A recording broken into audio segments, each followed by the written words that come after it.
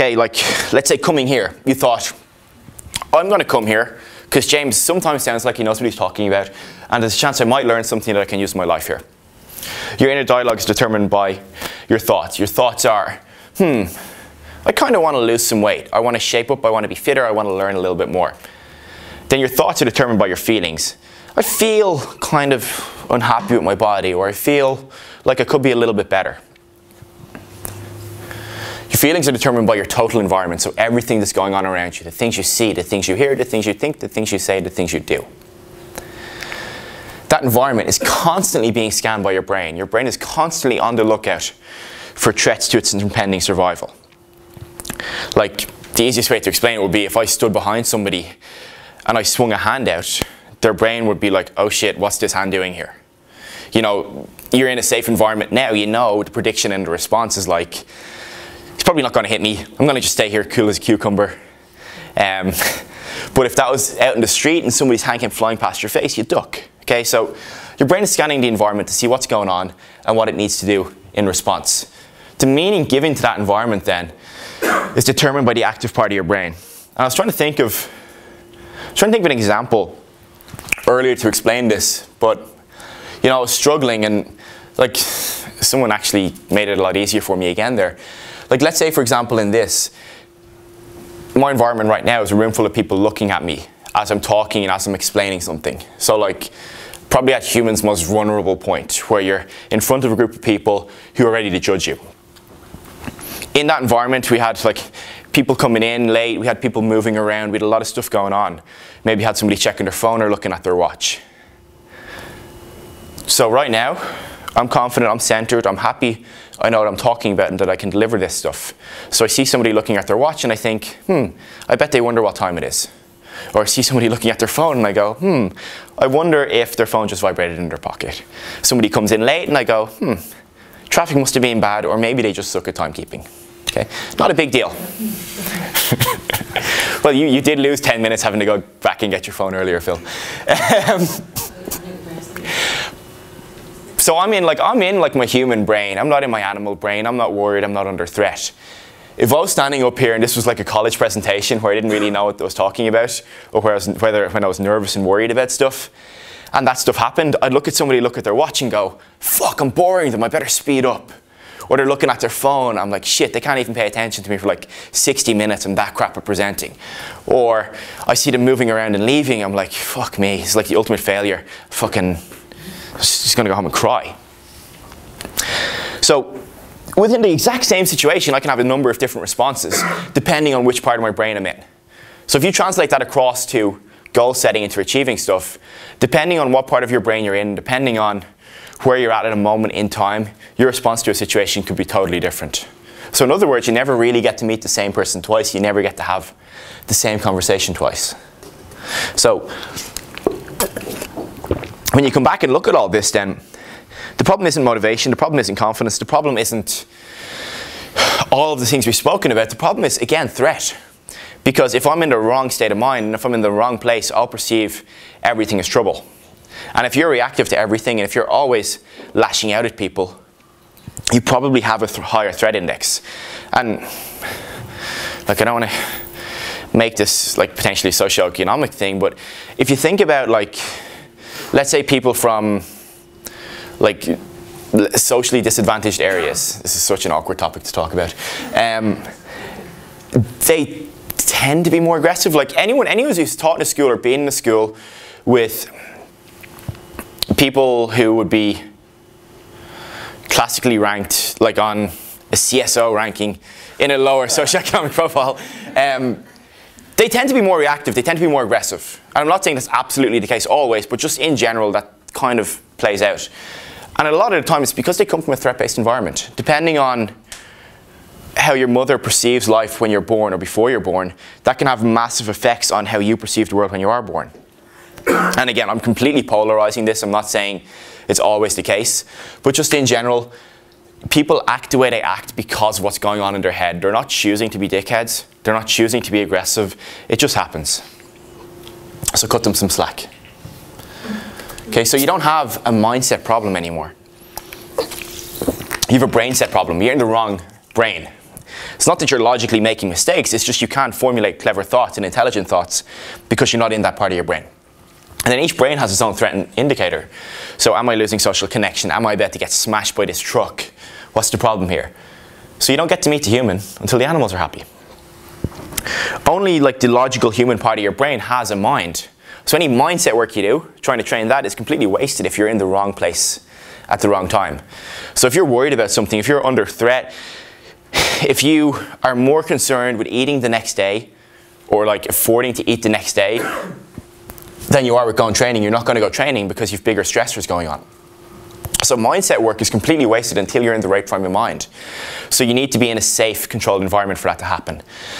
And with all this, the thing is never the thing. Okay, the thing is not the thing. Nobody wants to lose weight. Nobody wants a bigger car. Nobody wants nicer clothes. Nobody wants a fancy watch. Nobody wants to go on a lovely holiday. Okay? What they want is the thing that comes after the thing, the so that moment. So I want to lose weight so that I'm more confident. I want a fancy car so that people will look at me and think I'm successful. You want a feeling off of the things you do. That's really what you're looking for. You're not looking for weight loss or fat loss. You're looking for the feeling that it brings. So, again, just being conscious of this stuff and just understanding that that's a part of it will help clarify so much bullshit stories within your head when it comes to beating yourself up because you're failing or why you can't stick to a diet or, you know, all that bullshit. Anyone, anyone who's done something that, that isn't them or they look back at it and go, Jesus, that really wasn't me, you're doing it because you wanted the thing that wasn't the thing. So, I know right now, you're probably at this point. It's like, what the fuck has James been talking about? For the last 45 minutes. just too kind to laugh at me. Um, so let's, let's think about it, about it in a linear fashion instead, okay? Your sensory system, your eyes, your ears, your nose, your, your taste, your skin, are constantly scanning the environment trying to see what's going on. Off of that, you start to feel certain things. Off of those feelings, thoughts start to manifest. The thoughts turn into actions, and the actions either support or don't support the things you want to achieve. But it's senseless, and there's no point trying just to change your thoughts if everything above it is still causing you trouble. Oh my god, I'm so shit.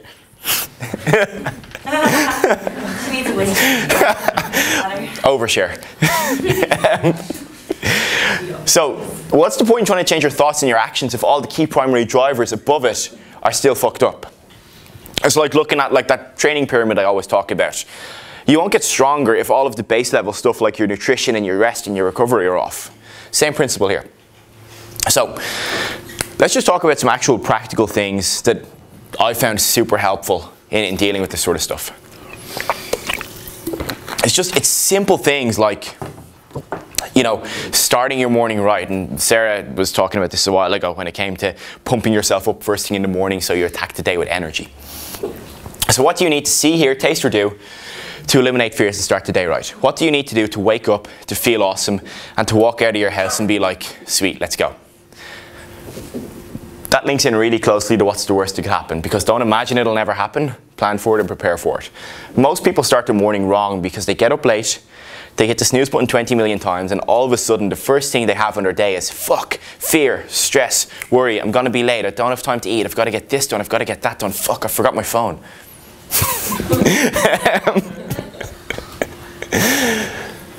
so, what's the worst that could happen? You're gonna wake up late, you're gonna wake up with five minutes to go before you've got to be out the door. If that happens more than once, your problem isn't that you're getting up late. Your problem is you're not planning to get up early. Okay, you know you get up late. You know you do all this bullshit stuff. Leave your clothes ready. Prepare some food the night before. Plan for the absolute worst so that when it does happen, you're not surprised. You've created an adequate prediction and response, and you still maintain that safe position where you can go and tackle your day. It's why food prep is so important. You know, We've all been on the road, we've all been out and caught out without food. First thing you do in that situation is go to something comfortable and something easy. So if you plan for it, it makes it easier. This environmental scan, like this is, this sounds ridiculous and it sounds weird and you're gonna look at me and think I'm a freak. But if you do it, I guarantee in a week or two, you'll be happier for it. So an environment scan is really just going into your home, observing everything around you. Okay? Go in and like consciously look at each, each piece of the puzzle. Like, I walked in here and let's say the, the mic box was on the table. I really wasn't comfortable with it there because I think it looks untidy and sloppy. And I have a camera on me, so I'm super conscious that I want it to look good after I post a video.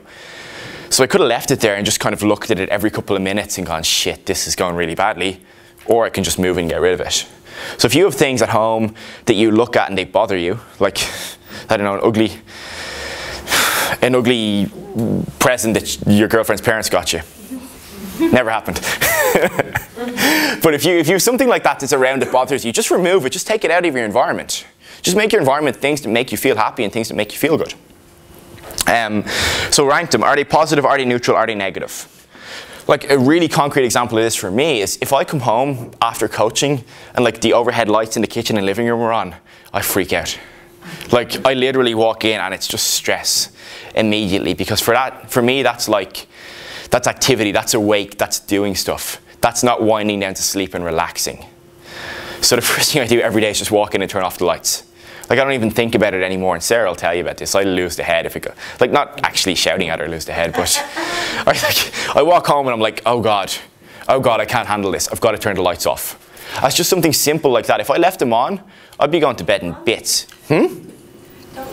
No, exactly. and that's my point. Remove, remove things to piss you off from your life, even if it's people.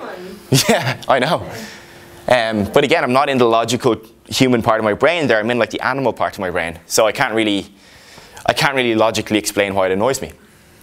So is stuff positive, neutral, or negative? If it's negative, just get rid of it. Try to put more message-rich stuff in your life. More reminders, more mementos, things that make you feel good about stuff. The easiest way to think about this right now is like your RAS, your reticular activating system, is basically a way of seeing what you look for. Okay, so just like listen to what I'm going to say now. So, okay, so blue